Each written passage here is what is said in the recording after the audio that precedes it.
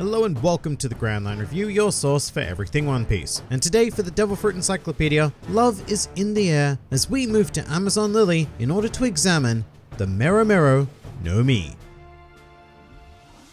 The Mero Mero no Mi is a paramecia type fruit that allows its user to, uh, well, essentially use any kind of lustful, perverted, or feelings of love towards the user to their great advantage in a wide variety of ways. Not the greatest of basic explanations out there, but it's certainly not the simplest of fruits we've seen either. In the series, it was consumed by Pirate Empress and Warlord of the Sea Boa Hancock, and it was first brought to our attention during the Amazon Lily arc. The fruit takes its name directly from the Japanese onomatopoeia mero which means something along the lines of to fall down drunk, and can be applied to an individual being overcome with some sort of emotion, in this case being love and or lust. And given that this meaning would be quite difficult to convey in English without calling it the drunk drunk fruit or something, both Viz and Funimation decided to simplify things by going with the love love fruit. Alright, so other than psychological manipulation, how does one use feelings of another to your advantage? Well, thanks to the consumption of the Mero Mero no the user of this fruit is able to more or less harness the power of lust and love to fuel a petrification process, which for the more weak-willed of the One Piece world, will often result in the victims being turned entirely into stone. Generally, this is achieved through a technique known as Mero Mero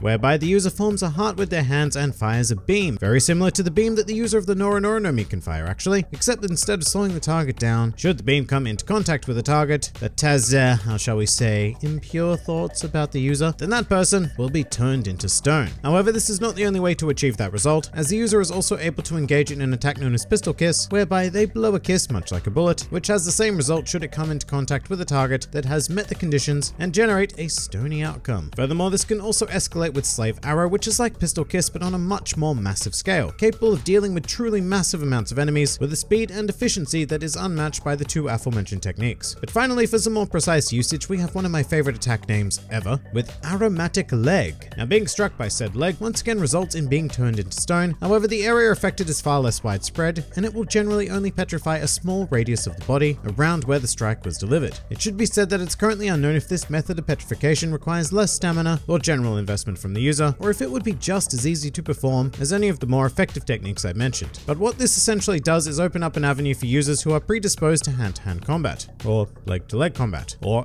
aromatic leg-to-leg -leg combat. Now, whilst in their complete stony form, these victims have no consciousness, thus making them exceptionally susceptible to physical damage. And once your stone self is broken, well, yeah, it's not going to be looking too good for you once you return to the world of the living, quite possibly for a, a very brief stay. And I mean, that's if you get turned back, that is, because currently the only known way to do so is to have the user graciously depetrify you. Now, at this stage, this fruit is sounding pretty damn phenomenal Taken at face value, it is a huge immediate win condition over 99% of individuals. However, there is one huge, and I mean huge caveat, which is that for this fruit to have any power whatsoever, the person you are using it against must be attracted to you in some form. Now, for someone like Boa Hancock, who we'll get into in a bit, this is a very simple condition to meet, but for the large majority of humans, this fruit is not going to have the sweeping near universal effects as they have been presented in One Piece. Instead, its effects will be delegated only to those who genuinely find you attractive, which may not always be the person you need to turn to stone. Outside of combat though, I suppose this fruit could have some niche use in the simple area of satisfying curiosity. I mean, it's not a subtle way to go about things, but it would be entirely possible for the user of the Mero Mero no Mi to enter a room, fire a beam, and instantly know who in that room is attracted to them and who isn't, thus saving people who are particularly bad at reading that sort of thing a hell of a lot of trouble. But this leads to another point though, and that is given that the petrification process uses lust and or love as fuel, I do wonder what the outcome would be on an individual who you know only sort of liked you. Without that overwhelming feeling, would there only be a semi-petrification? Or would there be no stone business at all? Or is that simple feeling enough to result in a full petrification? It's very difficult to tell because our user in the series evokes exclusively strong feelings. Which brings us nicely to Boa Hancock. Now, in the entire history of One Piece, I don't think there has ever been a Devil Fruit user who is so perfectly matched to their fruit. Boa Hancock is widely regarded as the most beautiful woman in the world, which is a claim we can surprisingly quantifiably measure thanks to her use of the Mero no Mi. In her control, there is almost nobody safe from being turned to stone, and Hancock has used this ability to secure herself a position as one of the seven warlords and ensure the security of Amazon Lily, home of the Kuja tribe. Speaking of, though, the Kuja tribe aren't uh, widely in tune to the happenings of the world, to say the least, nor are they aware that the Boa sisters were once slaves of the world nobles and force-fed devil fruits for the amusement of their masters. So in order to mask this shame, Hancock uses her powers to claim that three of them were cursed after slaying a Gorgon, and thus becoming known as the Gorgon sisters. Now I should also point out that Boa Hancock's proficiency with this fruit is actually so great that she can petrify beings that, in theory, should not harbor any feelings of literally any kind. A great example of this are the Pacifista, cybernetic creations based on the former fellow warlord Bartholomew Kuma. Through striking them, Hancock is able to turn parts of them into stone, making them far, far easier to defeat than they otherwise would have been. But this may not necessarily be due to some crazy factor like her beauty transcending consciousness, but it may be because that specific attack, the ever lovable aromatic leg, does not discriminate in its use and will always result in the area struck being turned into stone, regardless of the feelings or lack thereof of the user. And this is further reinforced when Boa's attack had the same effect on Smoker's jitte during the Marineford arc, in which case that would open up a whole new world of possibilities with this route, which brings us to Awakening. Now, given that we've already spoken about petrification and pacifistas, I don't see it being a huge stretch to expand the Mero Mero no Mi into being able to turn any other objects or even your environment into stone. Although I guess I would question why that would be in any way useful. I mean, maybe to aid various forms of destruction due to the brittle nature of the stone. But another crazy awakening could see the user being able to petrify people by using emotions other than love or lust. Like for example, if someone was absolutely disgusted by you, imagine being able to harness that or any other strong emotion to your advantage. Because in the end, remember that Mero Mero is an onomatopoeia all about being overcome with a feeling, so we may not need to stick simply to love and lust. In fact, just a little weird thought experiment here. What if the Mero Mero no Mi did not act exclusively on love, but rather it uses the strongest possible emotion generated towards the user as fuel? So for example, if someone like Caesar Clown had eaten it, maybe general repulsion would be what the Mero Mero no Mi would use as his fuel, or if it was say Kaido, then maybe his fuel would be terror. But you know what, this conversation is getting a bit abstracty, so let's bring things back a bit. Some other miscellaneous things to consider when becoming a, uh, um, a love human, I guess.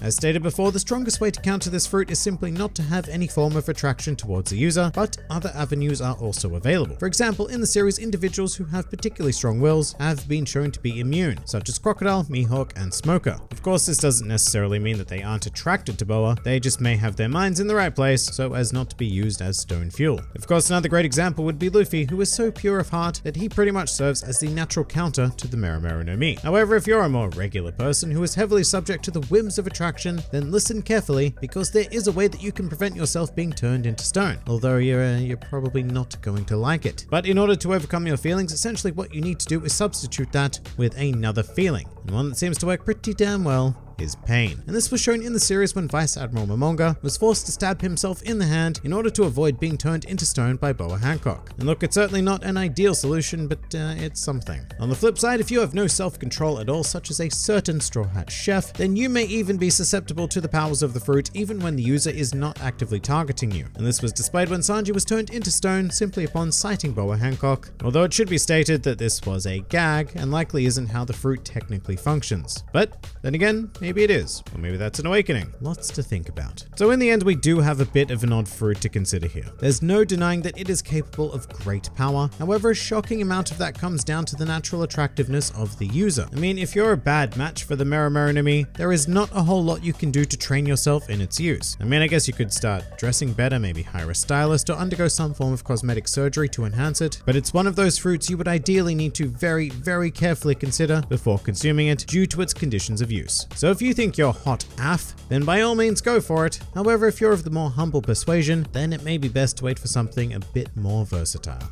And with that, we are going to commit the Mero Mero no Mi to the Devil Fruit Encyclopedia. Next week we have a first for the Devil Fruit Encyclopedia, because we will be covering not one but two, count them, two mighty Devil Fruits, primarily because their themes are extraordinarily similar, and they were introduced at the exact same time, and therefore I really cannot bring myself to make separate videos for them. But if you like snakes, well then I have great news for you, and if not, well, apologies in advance. But this double bill will consist of the Hebi Hebi no Mi model Anaconda, and the Hebi Hebi no Mi model King Cobra.